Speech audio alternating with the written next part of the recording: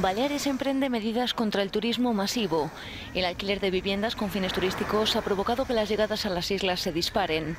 Ante las reiteradas quejas de los ciudadanos, el gobierno balear ha aprobado este martes una nueva ley que limita las plazas hoteleras a 623.000 y multa hasta con 400.000 euros a las plataformas del tipo Airbnb si no retiran los anuncios de pisos turísticos.